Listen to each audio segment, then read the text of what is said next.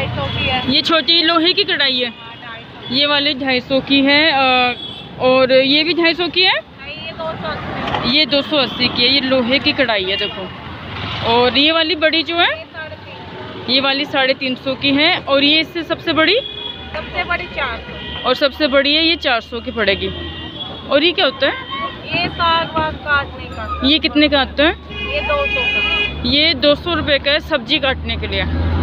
इस टाइप से देखो आपको यहाँ पे सारा सामान मिल जाएगा। और ये एल्यूमिनियम की है?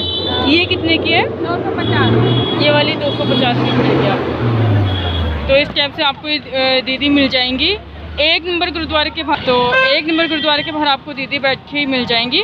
तो यहाँ से आप ले सकते हो सामान। ठीक है।